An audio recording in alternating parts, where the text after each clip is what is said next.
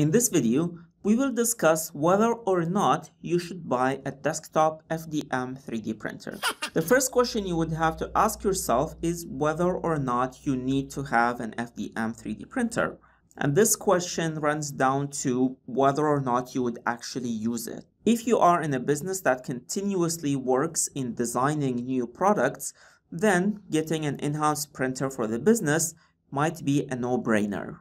However, for people who are not sure or plan to get it for their homes, then this is a question we can discuss. Many people end up following the hype of the technology and think that if they get a 3D printer, it will continuously be used. In many cases though, that might not end up being the case.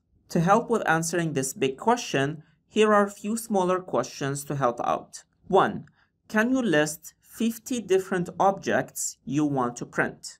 And 2. Are you able to design your own designs for printing? And 3. Do you have a small business idea that you can use your 3D printer for? If your answer is a no to all those questions, then you might not end up using the printer much after the first month or two. In that case, you might want to consider outsourcing the printing jobs to another person or a business with a printer. Or you can also consider using a community printer at a local makerspace. Those three questions are for you if you are looking to think about this in a rational way.